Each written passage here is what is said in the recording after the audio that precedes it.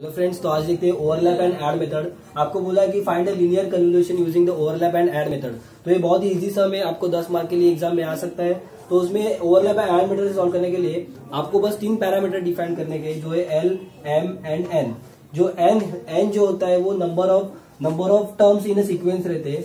ये जो number of terms कितने टर्म्स आपको लेने के डिपेंड्स अपॉन यू रहते हैं। तो आप ये मतलब कितना पॉइंट का आप एफ़ कैलकुलेट कर सकते हो तो उसके लिए कन्वल्यूशन करके आपको जो जितने टर्म्स जितने टर्म्स का कन्वल्यूशन चाहिए, उतना टर्म्स आपको यहाँ पे डिफाइन करना है। तो आप दो दो टर्म का भी लिख दो, चार का भी लिख दो सिक्स का भी लिख सकते हो और एट का भी लिख सकते हो। तो दो का लोगे तो इन्फॉर्मेशन लॉस हो सकता है। सिक्स और एट में आपका कॉम्प्लेक्सिटी बढ़ सकता है। तो four is the best to choose तो आप N is equal to four ले लो। उसके बाद आपको एम जो है, उसका वैल्यू सिलेक्ट करने का है। तो एम इज़ इक्वल टू क्या रहता है? एम इज़ स्मॉलेस्ट सिग्नल रहता है। एम इज़ इक्वल टू क्या है? स्मॉलेस्ट सिग्नल अभी दो सिग्नल अवेलेबल है X of N and H of N X of N तो बहुत बड़ा है एच ऑफ़ एन इज़ छोटा है। तो एच ऑफ़ एन क्या रहता है? छोटा सिग्नल तो छोटा सिग्नल का लेंथ स्मॉलेस्ट सिग्नल लेंथ क्या है? That is equal to three तो M is equal to three वो आप आप डिसाइड नहीं कर सकते। ये सिग्नल के ऊपर से आता है। तो H of N is the smallest signal और उसका लेंथ कितना है? Three one two and three उसका लेंथ कितना हो गया? तीन। कितना पॉइंट है इसमें टोटल तीन पॉइंट है। तो M is equal to three हो गया।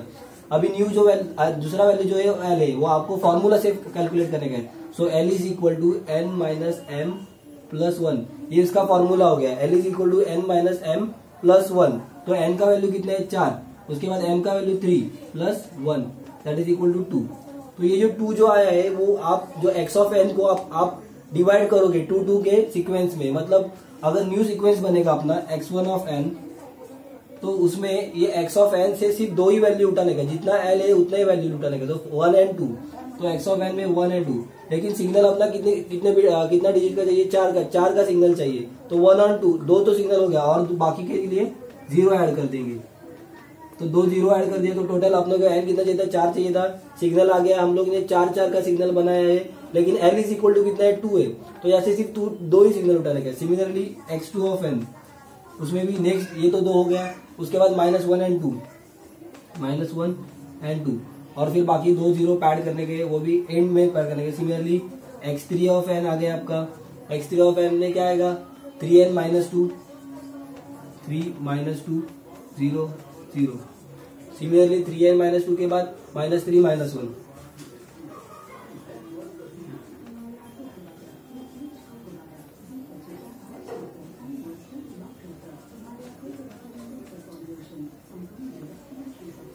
minus three minus one. और फिर इसका आ, उसका आगे का भी करता का आपको सेम सेम मेथड से एक्स फाइव आएगा। एक्स फाइव ऑफ़ एन आ गया। One comma one zero comma zero. Similarly X six of N will be equal to two comma minus one zero comma zero. Similarly H of N भी आपको calculate करने का है। H of N में सिर्फ़ तीन ही पॉइंट है वन टू एंड थ्री तो टोटल सिग्नल अपने चार चार नंबर का चाहिए। तो चार चार के लिए और एक ज़ीरो ऐड करना पड़ेगा। तो, तो एक दो तीन चार। तो ये हो गया चार चार चार डिजिट का नंबर हो गया सिग्नल हो गया। वन टू थ्री फोर चार पॉइंट का सिग्नल हो गया। H of N is equal to one two three and then zero add किया तो वो चार पॉइंट का सिग्नल हो गया। अभी आपको कुछ नहीं करने का है सिर्फ़ इसका मल्टीप्लीकेशन करने का है मैट्रिक्स मल्टीप्लीकेशन करने का है। और उसके बाद जो आप, आपका जो वैल्यू आएगा that is equal to your convolution बस उसको आपको ऐड करने का है। वो ऐड कैसे करने का हम आपको बताते हैं। हो गया first signal X one of N और ये हो गया एच ऑफ़ एन सिमिलरली आपको X two of N X three of N X four of N up to X six of N आ गए। तो हर एक के लिए सेम मेथड फॉलो करने है X one of N into H two of N आपको दोनों का कन्वोल्यूशन निकालने है that is X one of N convolution with H of N ये आपको अभी निकालने है ये आप, आपको देगा Y one of N similarly आपको वाई टू ऑफ़ एन निकालने है वाई थ्री ऑफ़ एन निकालने है तो X one of N into H two of N इनका कन्वल्यूशन आप कैसे निकालोगे? उसके लिए मेथड है मैट्रिक्स मेथड तो मैट्रिक्स मेथड बहुत ईजी है one two zero zero as it is आप एक मैट्रिक्स में लिख दो.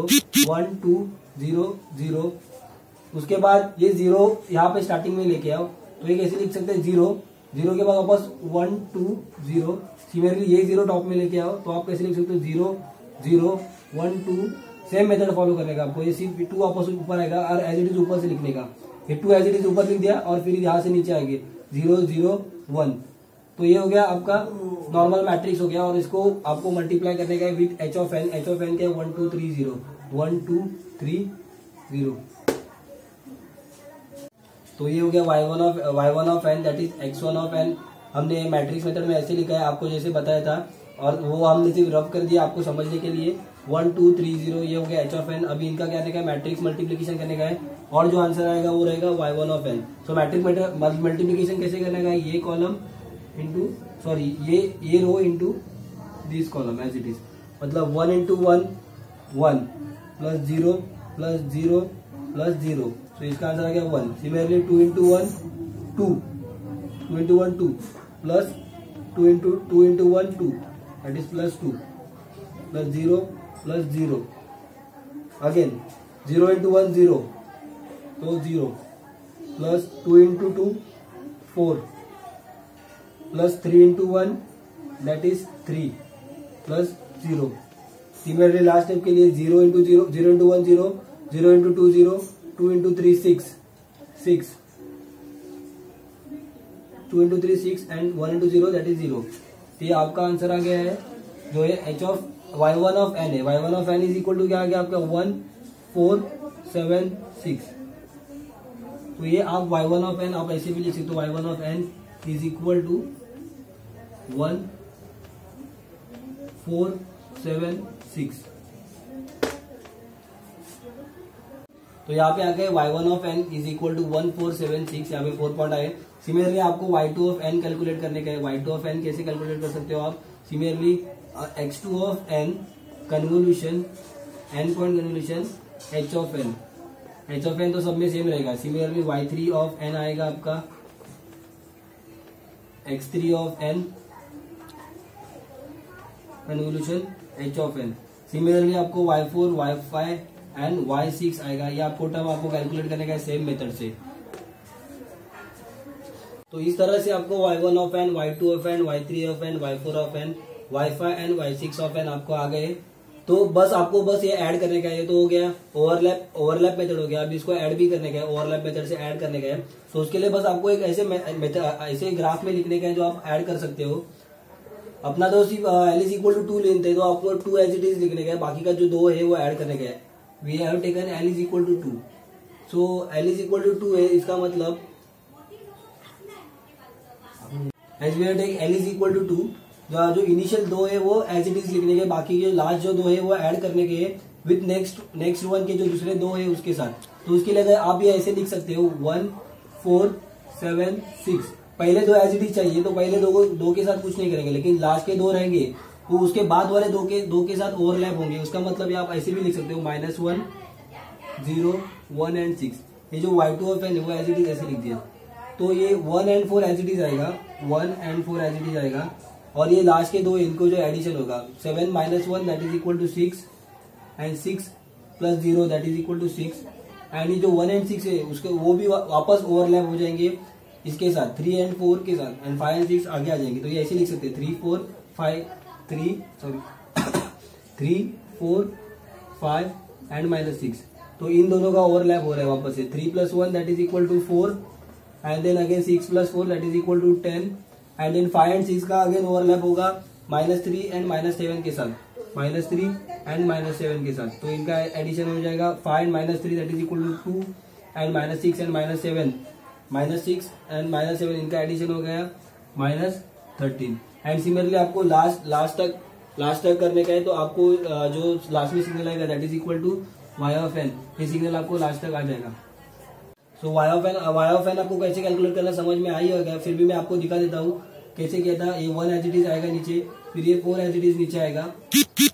सिमिलरली ये सेवन माइनस सिक्स इन दोनों का एडिशन होगा। Seven minus sorry seven minus one that is equal to six तो ये नीचे आ गया। Similarly six plus zero is equal to six one plus one plus three is equal to four six plus four is equal to ten five five minus three that is equal to two six minus seven that is minus thirteen minus eleven minus eleven plus one that is equal to ten minus three three that is equal to zero five plus two seven three plus three six four as it is and minus three also as it is four and minus three तो ये हो गया आपका Y of N तो ये हो गया आपका वाई ऑफ़ एन जो आपका ओवरलैप एंड एड मेथड से आपका कन्वल्यूशन है. Thank you